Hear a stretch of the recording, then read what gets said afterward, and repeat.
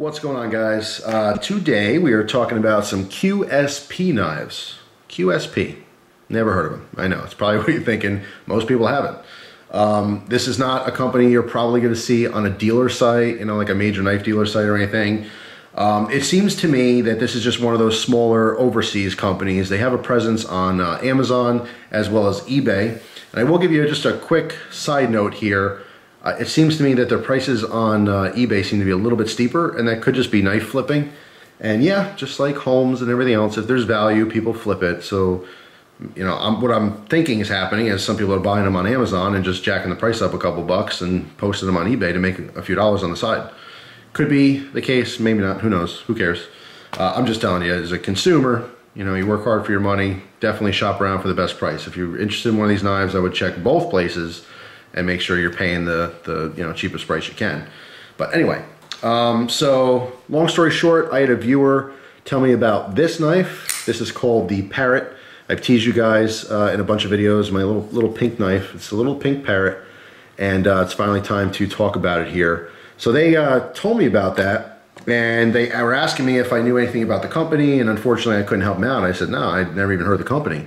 But I kind of got stuck in my head a little bit. I looked at their prices. It seemed pretty reasonable. Uh, this one sells for like $21, I think, or $20 and change. Um, the other two are in the $40 range, like 40 250 And uh, so I was interested. So I ended up getting three different models just to try them out. I use this one the most, like by far way more than the other two, but I did want to include them in the video because I did carry them and use them, and I do have some opinions on those as well. So this is kind of like a triple review, um, focusing more on the Parrot but kind of talking about the company as a whole. Like I said, it, it just seems to me it's uh, probably a company located in uh, in China that is just I don't know if they're working out of the same factory as some of the other companies or not, but they're pumping out some knives. They're selling them on uh, Amazon, and eBay.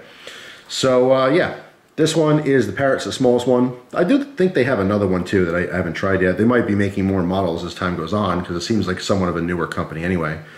But anyway, the middle one here, this one is the QS105. Uh, and this one I think is called the Pangolin or something along those lines. Uh, this is my favorite of the three. Right off the bat, if you're kind of interested and you want to try one of these knives, I mean, this is, I think, is the best value. These two are sporting 440C. Uh, again, $21 here, about $40, $45 there. This one's still in the $45, $46 range, but with D2. So that's a huge difference in steel. I know some people don't like D2, you know, but I still feel like it's definitely better in performance than uh, than 440C, and it's been proven with actual usage. But overall, I just love the design. It's actually really comfortable. This does come in a couple different colors. I think there's an all black version of this one. Uh, this one has kind of a stonewash finish on it. All right. This one, the green, you know, somewhat contoured uh, G10 scales. It is an open frame design. All three of these are liner locks. See the lock up there? Also show you the centering real quick. Um, just really, really comfortable, easy to use. This is uh, running on a uh, bearing system. All right, so very smooth and opening. Both of these, this one and this one, both use a, uh, a pivot bearing system. All right, these are flippers. This one here is on using some copper washers so it's definitely uh, smoother than some folders out there, but it's nothing like these because of the bearings. But anyway, yeah, this is definitely by far my favorite. Just super, super comfortable. Just a nice, you know, somewhat affordable flipper. You know, if you're looking in the $40, $50 range, it might be something worth looking at. The D2 hasn't given me any problems with rust or anything or chipping. I've used this on a couple different types of plastic, mostly cardboard but some plastic jugs. And I also actually cut some paracord with all three of these knives as well. And uh, yeah, no issues. I mean, the D2, it's starting to get a little bit dull now, but I definitely noticed the 440C on, you know, this one, as well as the Parrot, uh, started dulling a lot quicker. Um, still very usable knives for sure, but I just, I feel like the D2 is way better. So anyway, with this one, this is the QS101. Uh, again, 440C, this is called the I'm going to butcher this because it, it's very weird to have an S before a TH for me, but I think it is the Sthenia. It's S-T-H-E-N-I-A. Sthenia, if I'm saying that wrong, I have no idea what that means. But yeah, that's what this one is. Now this one looked the coolest to me. You know, when I first saw him, I'm like, oh yeah, that, I'm gonna like that one the most. And I like this one the least. I really don't like this one that much. It looks cool. And I wouldn't say it's like super uncomfortable at first, but what I've really noticed in carrying and using this is because there's a wider gap here compared to this one, let's say. You can see there's a wider gap in the frame. So when my thumb rests on here, I'm not just touching the metal liners, I'm touching the actual scales here. My, the meat of my thumb is throughout the entire width of this. But just having the tiniest bit of a wider gap in between, I really find like I'm I'm not really touching the the orange scales here. My fingers resting on these liners. So if I took, imagine if you took a knife that's similar to this and you took the scales off, you know, and just resting your fingers on liners, it just, I don't know, it just feels kind of undone, unfinished. Um, there's something lacking there. You know what I mean? Uh, I don't know. It's it's really really hard to explain. It's the best way I can say it is it feels like there's no scales on this at all. Looking at it, it looks super comfortable. I like the finger choil. Uh, I like the curvature down here, and the scales themselves are, are they're really nicely done. You know, also a layer G10. You can kind of see that those faint lines there from the contouring, uh, cham chamfering, excuse me, around the edges. I mean, there's no sharp edges or anything like that. Also a liner lock. Also the lockup on both of these, awesome. Really, really well done. All right, so no issue with any kind of blade play or anything. Um, but yeah, I mean, just that feeling right there, I don't like. All right. In addition to that, if you already noticed, but you can see this is only tip down, right side carry, and I just hate the pocket clip. The pocket clip just doesn't match the knife at all. There's nothing black on here except for the pocket clip. Those holes in there make it look cheesy. Uh, it carries okay, it carries fine. It's obviously not deep conceal or anything. I mean, there's a bunch of knife sticking up there. Um, eh, just one of those things. Just didn't like it, all right? So like initial impressions, like, oh, okay, whatever. But when you're carrying it and you're actually using it, that's when all those other thoughts start, you know, rolling through your head. Hate the pocket clip on this and just don't like how that feels back there. Um, but it is smooth, locks up great. I mean, functionality, it's there, it's fine. And if you're okay with 440C, that's cool. But I think a lot of people out there, I mean, your taste for different or, or you know, better, more modern, I should say, uh, blade steels, I mean, that might not cut it for some of you guys out there. You know, I used to say it's kind of a blade snobby thing. There's nothing wrong with 440C, and there really isn't. But it's just hard because in the 40 to $50 price range, there's better steel out there. It's just the way it is. If you're looking for performance, if you're looking for an everyday EDC and you just want it to be able to hold an edge for a pretty good amount of time, just might not meet your standards. Um, so yeah, I mean, this one is by far my favorite. Love this thing, uh, the 105, the QS 105. So, on to this guy. Now this guy was my favorite for a while. I like this because it was small. It, I mean, by design, it's a really, really simple knife. Okay, simple little liner lock. Also, you can see flow through design here. Um, I love the blade shape. If you notice, this one is the uh, full flat ground. Okay, sliced great, even though it's 440C. Seemed to form just a little bit better than this one. All right, look at the thickness. Obviously, it's a, a thinner blade as well. So it was a better slicer. Seemed to hold an edge. Okay, wasn't too bad at all. You know, ambidextrous thumb studs here.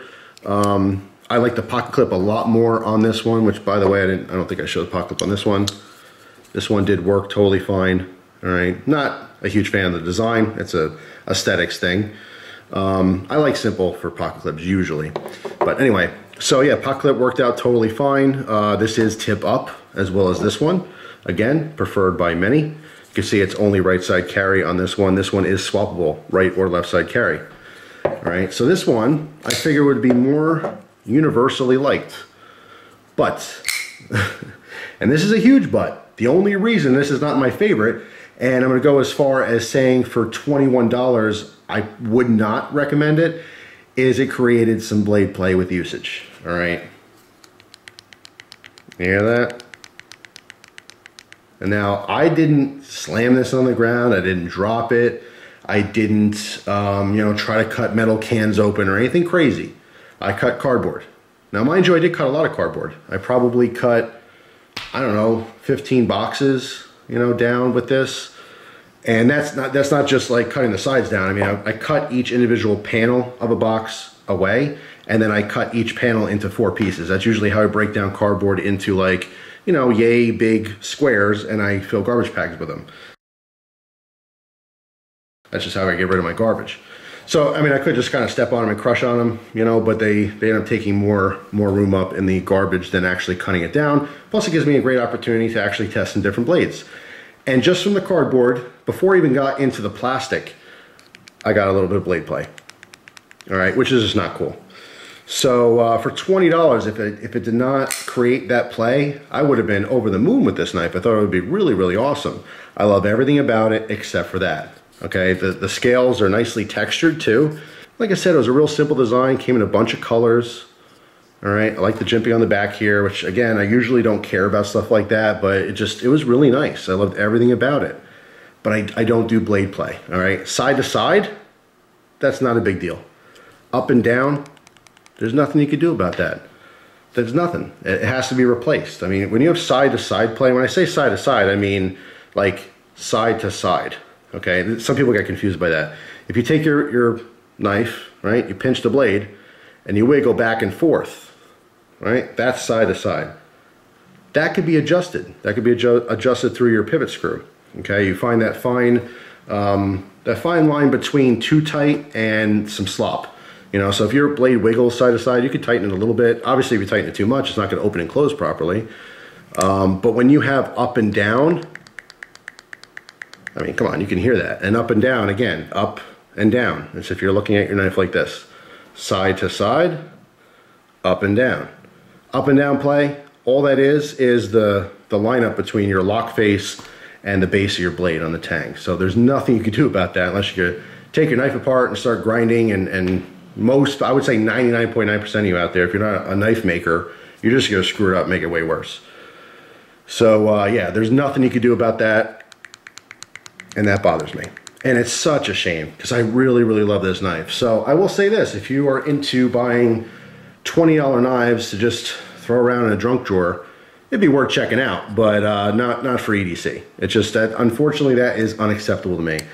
Um, this one was my favorite. This one's still kicking just fine. I might actually carry this a little bit more, even though I'm doing the video now on it.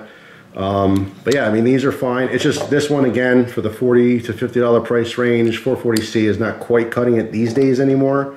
That's why the D2 on this one, I, I feel is totally acceptable for that price.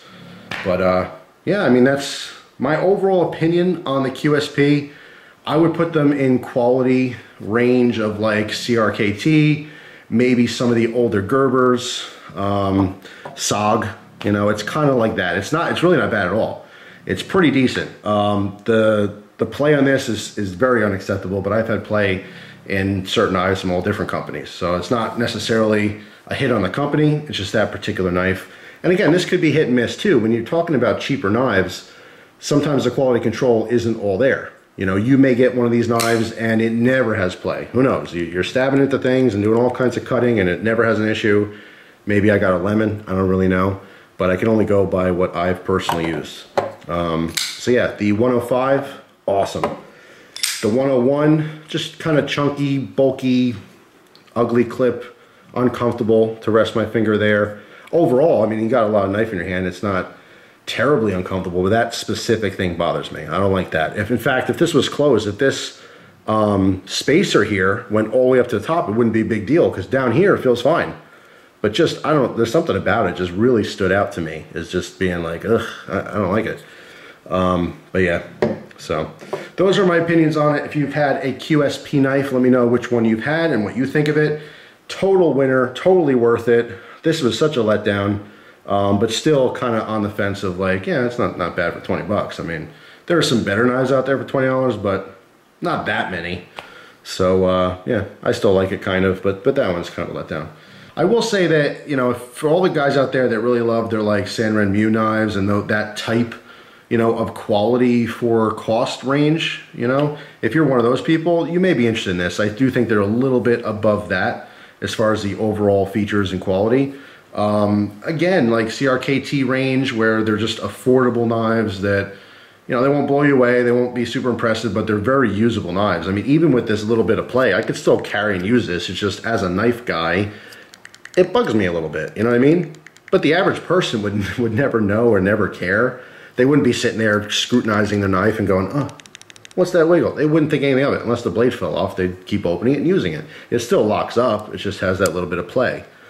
So it's just, uh, you know, us knife people, we know that play is not supposed to be there. And we know that play wasn't there, mind you, uh, when I first had this. It was literally created from the pressure in cutting. All right, it deformed the liner lock. So liners are not properly heat treated. That's really what it comes down to, uh, if they even are heat treated. So anyway, that is that. If you have opinions on this brand, post them in the comments, post your experience so other people can read your experiences and not just go by what I'm saying. Uh, you know, I love to be a reference when I do knife reviews. I love that I'll be able to give people's opinions and it'll help them, but you shouldn't solely just go on what I say. Get a lot of opinions from a lot of people and then spend your hard-earned dollars, you know, how you want to do it. So that's all. Thanks for watching. Hope you guys have a wonderful day, and I'll see you soon. Take care.